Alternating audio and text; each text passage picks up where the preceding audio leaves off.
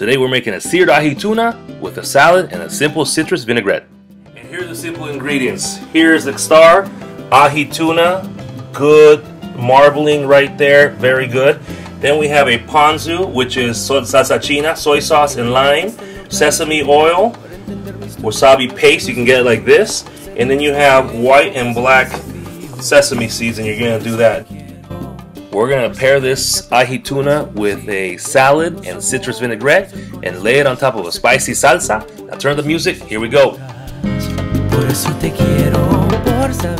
The first thing we gotta do is go ahead and put some wasabi paste because we're gonna marinate the tuna so that the seeds can also stick to it. You're gonna add the ponzu, you're gonna add the sesame oil, and then you're gonna whisk it together and add the tuna in there. Let it sit for about two, three minutes. That's the beautiful thing about cooking with tuna.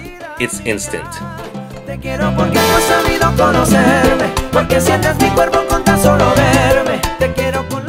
You enjoying the music? That's why I like cooking. And this song is actually an oldie but goodie, but Kevin's killing it on this song. Now, you gotta heat up the pan. You put a little bit of olive oil in there just to get it going. You're gonna go ahead and coat the ahi tuna on all four sides and even the sides. Tuna, you could eat it like sashimi. Remember, you're just gonna go ahead and sear it.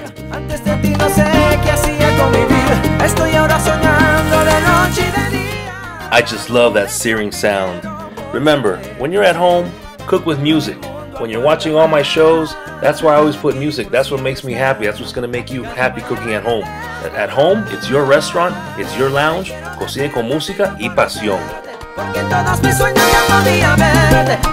And you can smell it so delicious. Then you're going to turn it over. Remember, it's just like sashimi, so you're literally only putting it one minute on the first side, as I mentioned earlier, and then about 30 to 40 seconds each additional side, and you're done. And now, you just take it out. Let it rest right there. And now what you're gonna do is the sauce. Tom John paste. Now this sauce is very practical. You can put it on fish, chicken, garnish, potatoes. You're gonna see in a lot of my uh, episodes. So, some mayonnaise. You're gonna lighten up the sauce by putting uh, half of a lime, some sesame oil, and remember, when you're plating, it's all about presentation. You eat with your eyes at first sight. This sauce will turn into a bright orange. It contrasts well with any kind of plate. And remember, just because you're cooking at home doesn't mean you can't make it sexy.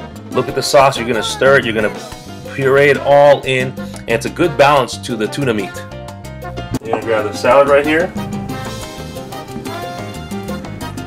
A little bit of lime.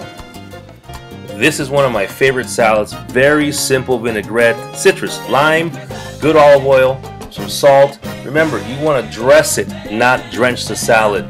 So you've got the tuna with the side of a salad with citrus, and now we're almost ready to plate. And now you're to grab the tuna, sharp knife, cut right through it. As you can see right there, seared around the edges, a beautiful medium rare, just like at the restaurant. Remember, grab a big white plate. It's all about presentation. You're gonna grab the salsa or the sauce and you're gonna put like a little brush style right there. You've got a white plate, you've got orange. Now you're gonna go ahead and lay the tuna. You see that it's medium rare, bright red in the middle. You're gonna then pair it up with a salad um, to go on the side. You're covering all those colors. You know, get fancy. You see me putting the little drops there, and there you have it. Just because you're at home doesn't mean it can't be fancy and looking good. You saw that I cooked it at home. I hope that you liked this episode y hasta la próxima. But remember, siempre cocinen con música y pasión.